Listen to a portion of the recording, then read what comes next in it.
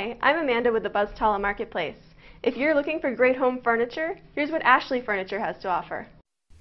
Here are the top features of the Home Accents mirror in antique silver finish.